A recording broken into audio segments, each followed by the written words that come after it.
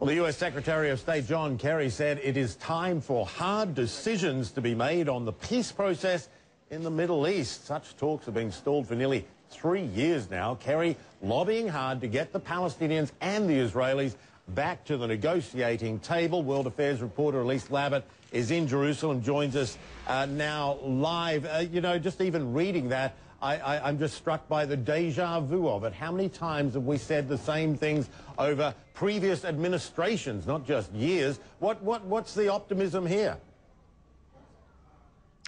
Um, well, certainly John Kerry has a lot of optimism, Michael. And I think that's one of the things, few things that Israelis and Palestinians can agree on, that John Kerry really wants this very bad and is putting forward a lot of efforts.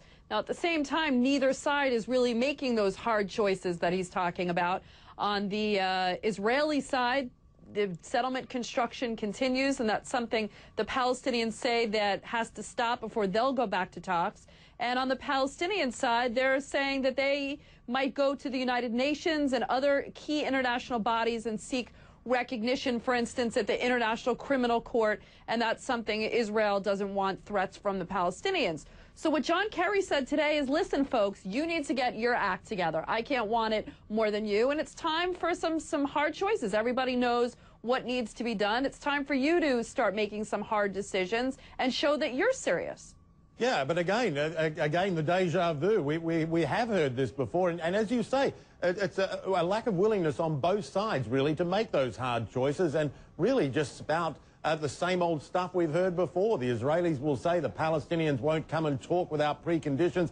Palestinians will say, you're building settlements every day, you're expanding, expanding, expanding. How are we going to have a state to talk about? What, what are the Americans able to do to get, I don't know, some reality into this. It's becoming nonsense.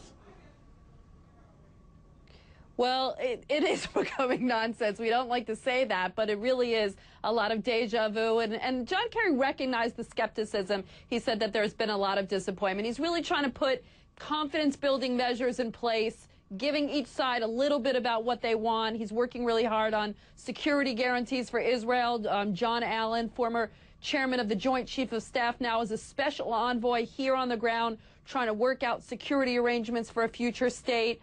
On the Palestinian side, he's working very hard on uh, an economic development plan to really build a Palestinian economy.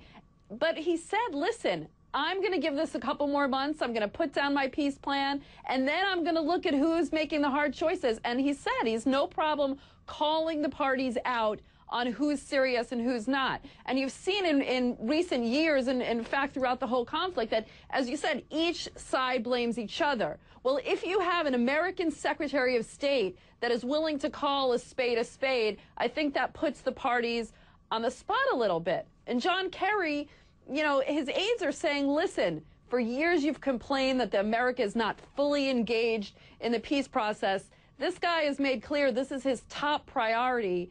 And so uh, now they can't use the Americans as an excuse anymore. It's really going to be up to each person to prove that they're not the ones being the obstacle. Yeah, and, and, and it'd be interesting to hear if he actually does do the calling out there. The U.S. does uh, have a very big stick it can use as well, and that uh, that's money, money that goes to both sides, but uh, billions to Israel. Exactly.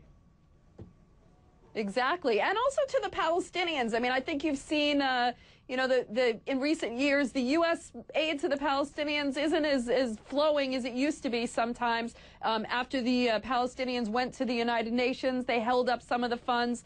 Whether they're willing to do that for Israel remains to be seen because there are a lot of other security uh, components in the region, Iran, for instance.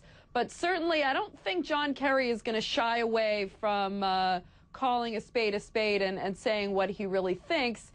It's just a question of whether his optimism, his enthusiasm will be met by actions by both sides. Yeah, exactly. Uh, don't hold your breath. Elise, always good to get your thoughts. Good to see you there in Jerusalem. Elise Labott.